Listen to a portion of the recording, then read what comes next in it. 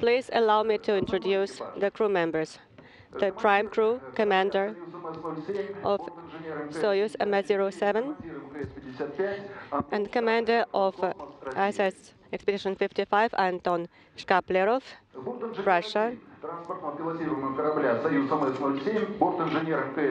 and flight engineer Scott Tingle, USA flight engineer two of the Soyuz vehicle, Norishige Kanai, JAXA, Japan, backup crew, commander, Soyuz commander, and flight engineer of ISS Sergei Prokopyev, Roscosmos, Russia, flight engineer of the Soyuz MS and the flight engineer of ISS, Alexander Gerst, Germany, flight engineer 2 of the Soyuz and flight engineer of ISS, Jeanette Epps, USA. And now let us start the press conference. Please, question number one.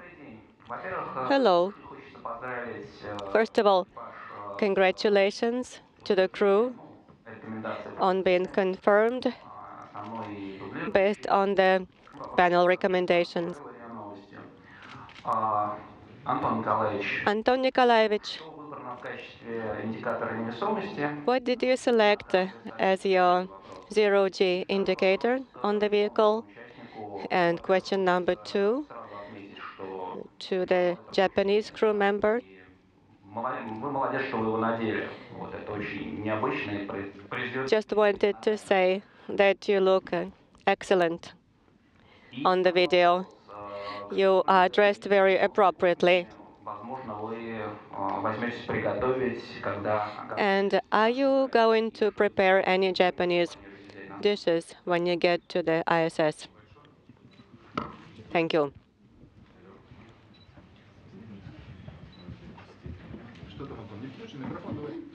Uh, is the mic working? First of all, Thank you for coming here, all of you. It's a lot of people to be interested in um, space, and I'm happy about it. And I'm hoping that you are going to convey to millions of people what we do here and what's the purpose of flying into space. First of all, the zero-G indicator the toy that I'm going to take with me. Usually it's a small toy that we take uh, to understand that we are finally in zero G. And nine minutes uh, after the launch, it's a lot of vibration. It's not very comfortable. And uh, Finally, when we are in zero G, we would like to know immediately that we are here. So we always take the toy to indicate to us that we are in zero G. We hang it in front of our faces.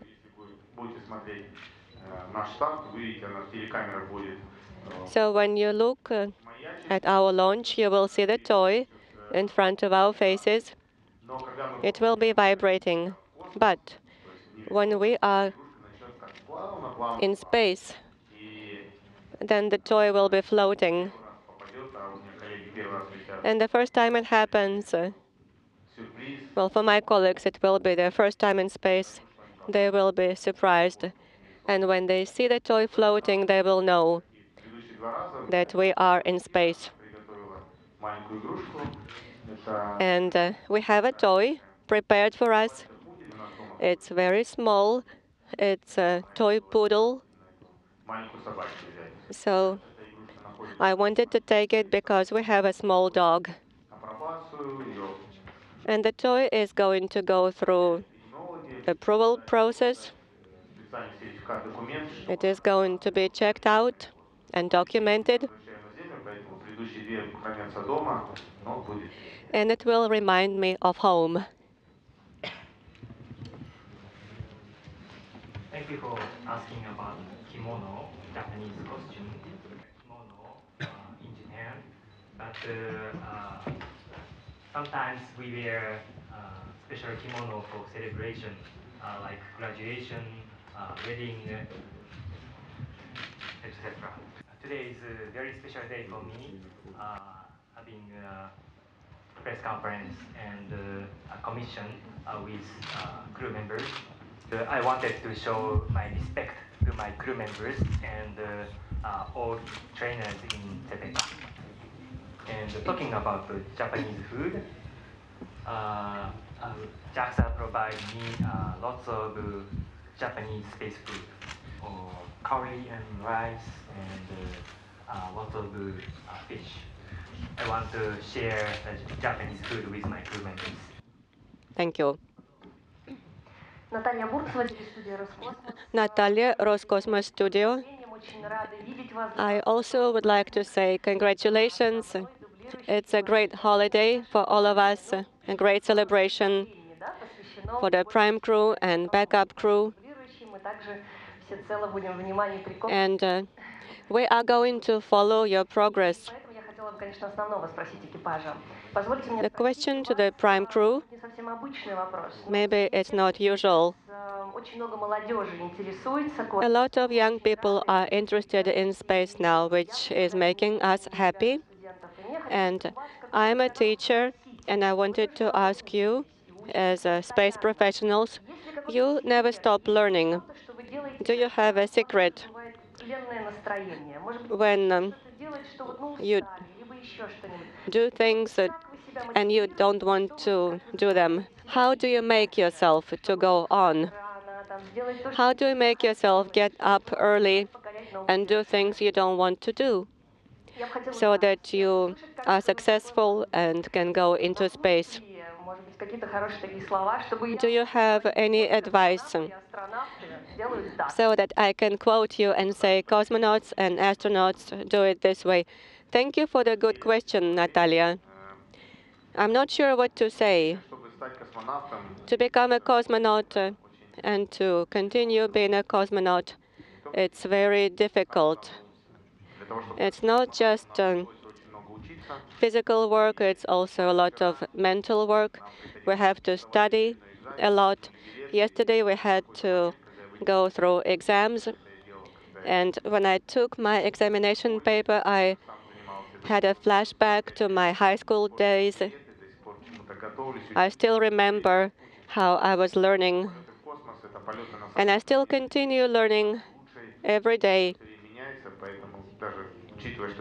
Everything keeps changing, and even though I'm flying into space for the third time, I had to study a lot for the last three years.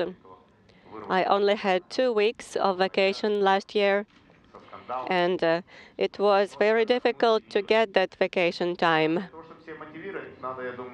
To motivate yourself, I think you have to consider other people, not just yourself because so many people put their heart and soul into your training, into preparing you for what you're doing. You have to justify their hopes and the hopes of tens of thousands of people here on earth, especially those who helped us here and supported us, and uh, hundreds of thousands of people who are watching us from the earth. We want to justify their hopes. And in order to achieve any goal, not just flying into space, you have to apply yourself, even if you don't want to do anything. You have to do it. Otherwise, uh, we are no different from anyone else. It's just our profession to fly into space. And please tell your students that if they really want it, if they apply themselves, they can do it, they can be successful. Thank you. One more question. May I? Well, thank you all for coming. Uh, and that was well said uh, from Anton. Uh, there are literally tens of thousands of people working in this community and they all work very hard. They all many of them work as many hours as we do. They, they study, they look at new. Um, so when we're, we're setting the goals and we're, we're working really hard and we start to feel a little bit of fatigue or a little bit of tiring, uh, I always think about all those folks doing the work to, to help us in the background. The magnificent uh, support from our families and friends, and colleagues, and especially the, uh, the trainers uh, at all of the uh, centers that we do our training. And that's it for me. I just want to want to make you all proud and do well for you. I was lucky because I have uh, great uh, crew members during uh, my training in CEFICA. My wonderful crew members always help me, and uh, whenever possible, I try to help them. And uh, having uh, friends like these crew members uh, uh, who are who uh, same goal, same dream, that helps a lot. Спасибо. Прошу, пожалуйста, Насар. Beth Weisinger with NASA Television. Uh, first off, congratulations to you all for making it to this point in your training. Um, I have two questions, one for Scott Tingle and one for Jeanette Epps. Um, Scott Tingle, in addition to your work training in the military and as an astronaut, you are a maker. You have a passion for building things. Do you believe this might be useful in your stay aboard ISS? I think so. Uh, I, there's, uh, there's a lot of maintenance to do, there's a lot of servicing to do, and there's a lot of research to do. I love working with tools, and I love putting stuff together so that things work for, uh, for, for good people. Uh, so yes, I, I think it'll be valuable. And Jeanette, you have worked in multiple extreme or remote environments. Do you anticipate that this might help you in your work as an astronaut aboard the International Space Station? So working in different environments, um, in extreme environments, or even just working overseas, I do think um, will help me in space because um, one of the things that I was able to do was work with many different people and interact and be successful working with um, people from other countries and different things like that. So I think um, working in extreme environments as well, you kind of get a sense of um, how to stay safe, how to keep your crew members safe. So there's a lot of things that you can gain in doing that. And I definitely think all of these skills help with operating in space as well. Hello, Alexei, the standard, and I wanted to congratulate you. First of all, on becoming officially the prime crew and the backup crew.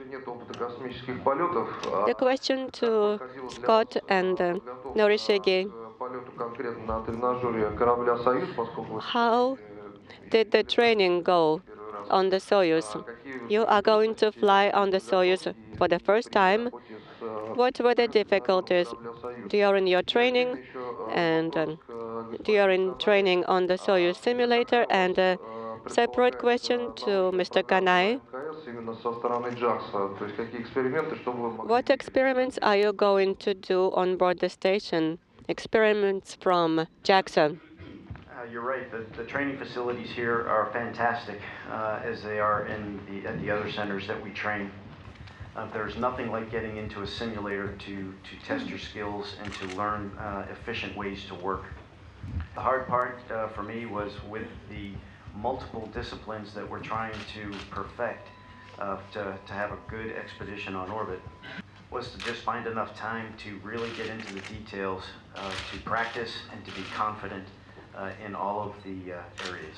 But at the end, in the end, all I had to do was listen to the best commander in the world. And Scott said everything for me also. И Скотт за меня уже тоже все сказал. Uh, although this is my first space flight, uh, no problem because we have a great instructor here and we have a great uh, commander here.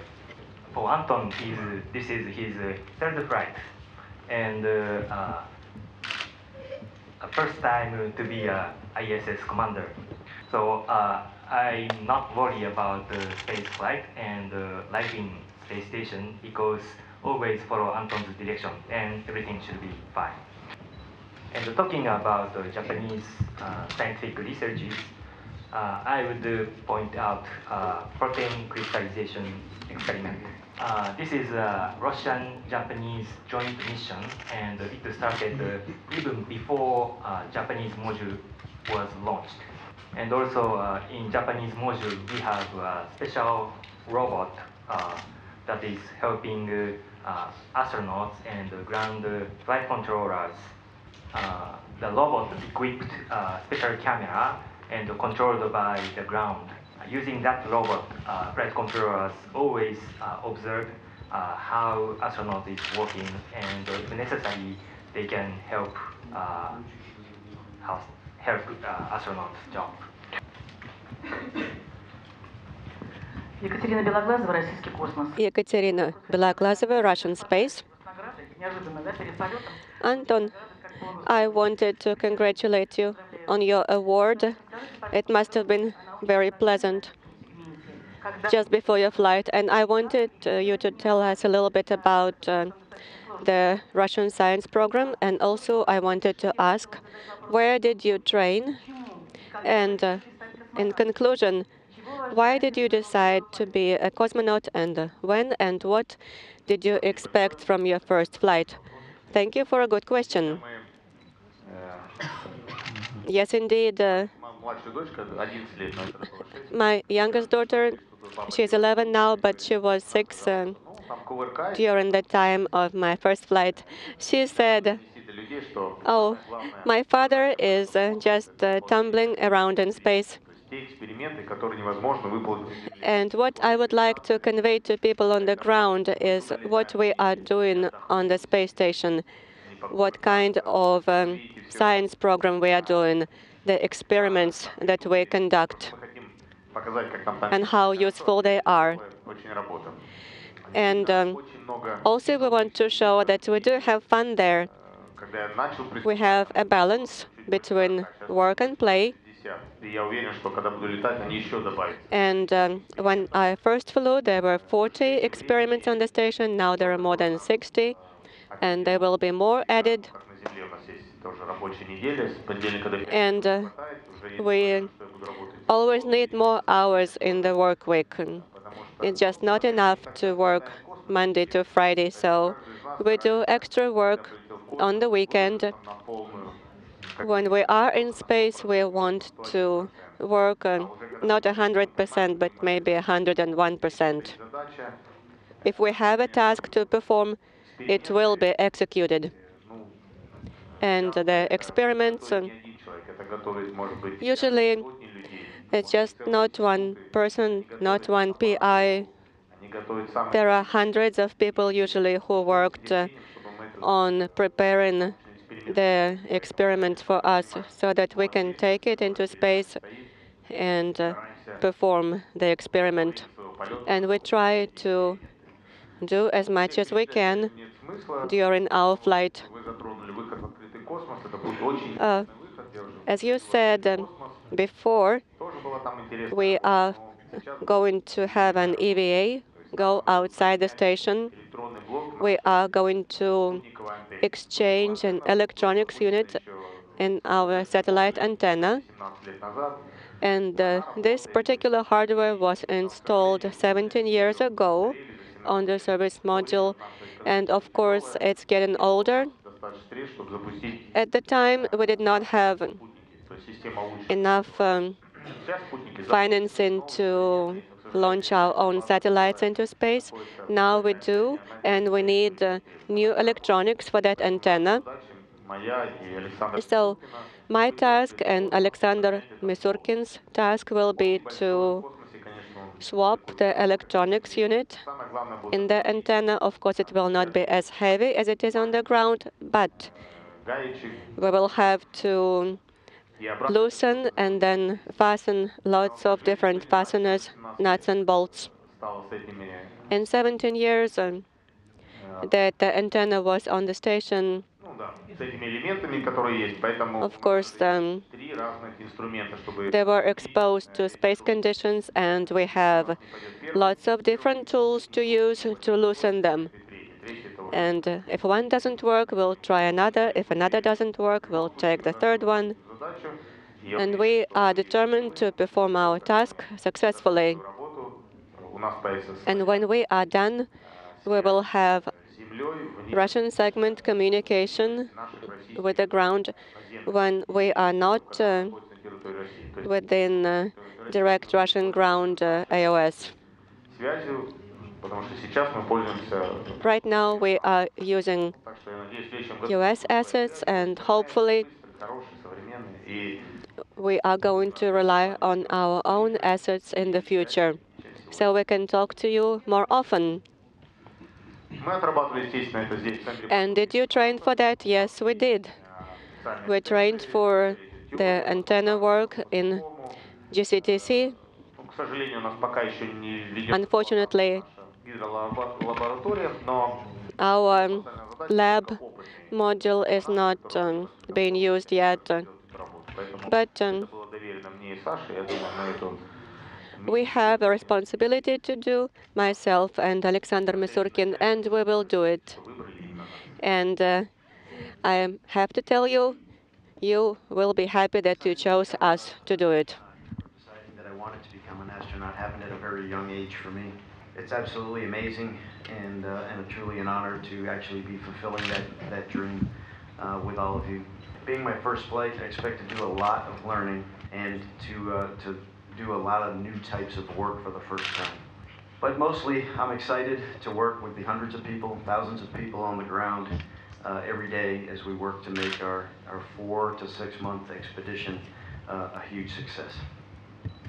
I'm expecting uh, lots of lots of work on orbit, including uh, sciences and uh, medical researches using uh, astronaut's body. Uh, but most of all, uh, as Anton uh, mentioned, we have uh, Russian EVA uh, planned. And uh, since we have only two cosmonauts on orbit, I will be the person who help uh, suit up cosmonauts. So I'm uh, uh, looking for the uh, working uh, uh, with uh, cosmonauts and uh, working uh, on the Russian spacesuits Спасибо. Скафандрами для открытого космоса. Спасибо. Но почему стали космонавтом? Thanks a lot. But why did you want to become an astronaut? Being an astronaut, I was working in Japan Navy as a medical doctor, and uh, uh, as a medical officer in Navy, I, my specialty was uh, underwater activity, underwater medicine. Living underwater or activity in the wa- uh, underwater is very very similar to space walk or uh, space station, life in space station.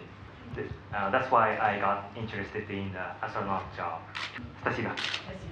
Спасибо, прошу вас. Виктория Тархова, известия. Виктория Тархова, «Известия». У меня к вам такой вопрос. Антон Николаевич, Отправляясь в космос, question to you. много неизвестно, вы непонятно. Are you concerned about uh, space flight because there's always a lot of unknowns there, including different kinds of microbes and bacteria. Very good question. What we are afraid of. Our president, Mr. Putin, asked, uh, Dear cosmonauts, what are you afraid of in space? So I said, yes, we are, of course, afraid of something. We are human beings. But I'm afraid only of one thing, to do something wrong, to break something, to do something wrong with an experiment. So I would like to try and do the best I can to show that uh, the training we have undergone for years was not for nothing. So this is the scariest thing I can think of, is not to justify the hopes of hundreds of people who helped us get here. But um, there are some experiments that are only done once, uh, and uh, you cannot redo them, and that's why we have to be very careful. And um, after every flight, uh, when I return home and I look into people's eyes, I'm glad to see that I justified their hopes. And I can look them straight in the eye and know that I did my job well. All the rest is just uh, imagination, as far as you can let it go.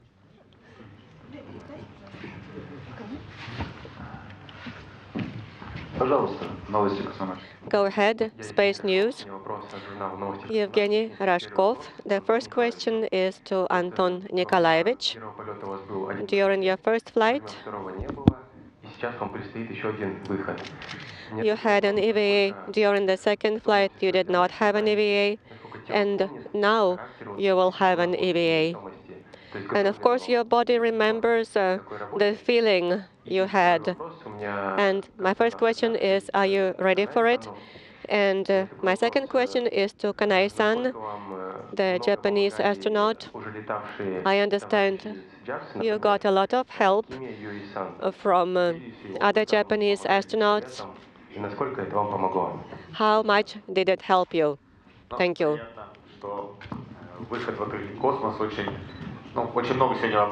Going into open space, of course, uh, it's a, a difficult job. And when we watch movies about space, we can see people in spacesuits there and uh, don't uh, rely on the movies. It's very different in real life. We have to prepare ourselves on the ground for a long time and then you have to continue training on the station.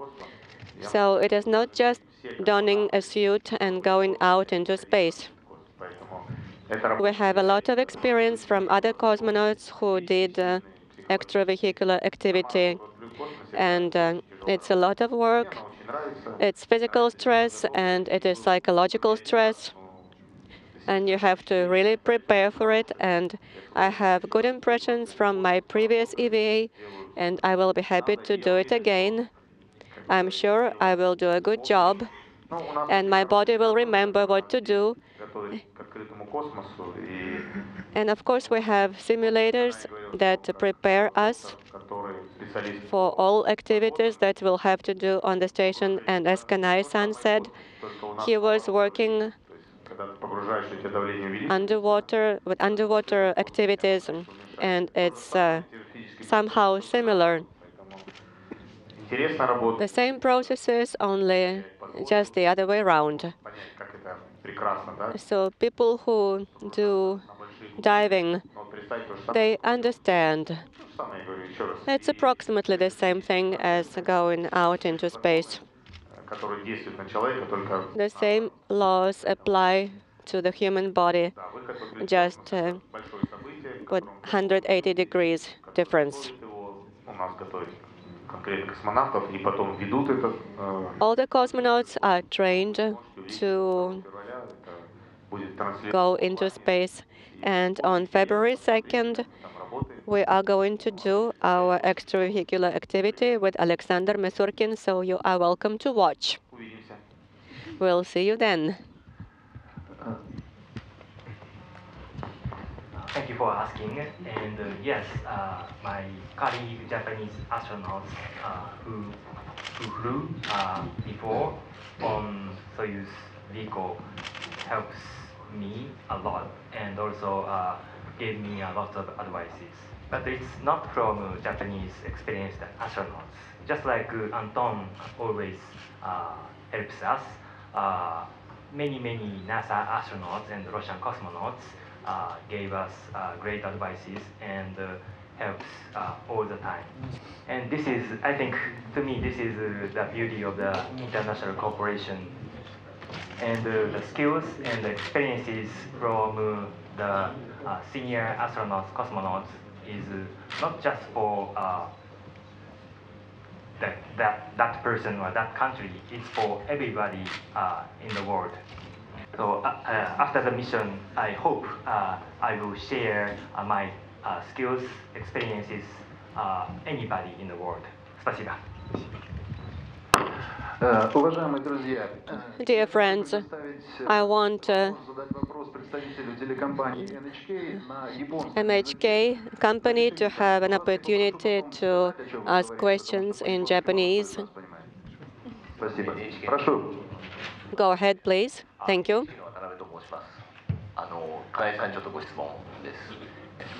The first question is uh, about the, uh, the the last training uh, final exam yesterday and uh, the feeling uh, right now and the expectation for the uh, follow-on mission.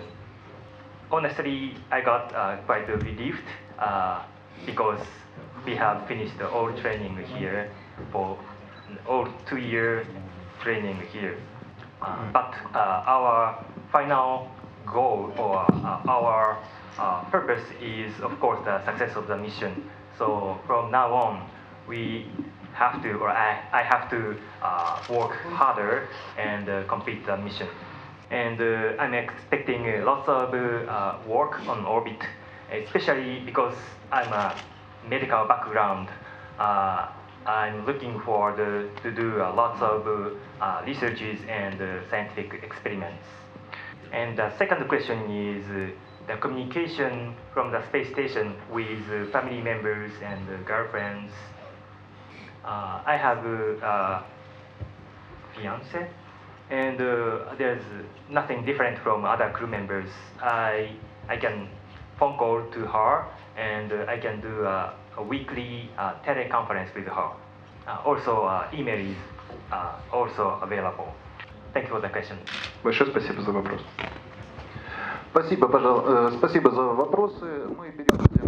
Thank you for the questions.